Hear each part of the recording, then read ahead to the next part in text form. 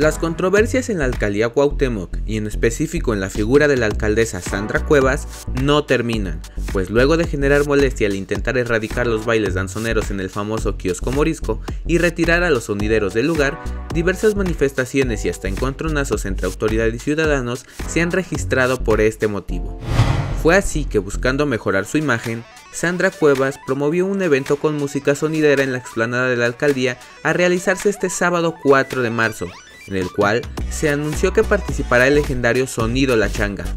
Sin embargo, Ramón Rojo Villa, líder de La Changa, anunció este pasado 1 de marzo que se bajaba del evento de la alcaldesa en solidaridad con sus compañeros de Sonido Cincelejo y las personas agredidas en Kiosco Morisco.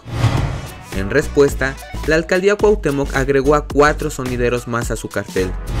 Cabe señalar que en paralelo 16 sonideros se organizaron para realizar un evento simultáneo al que convocó la alcaldía Cuauhtémoc. Esto como una muestra de solidaridad con las personas agredidas el pasado 18 de febrero durante una manifestación en el kiosco Morisco, ubicado en la colonia Santa María La Ribera. Este evento de apoyo se llevará a cabo el mismo día que el que fue convocado por Sandra Cuevas, es decir, el 4 de marzo.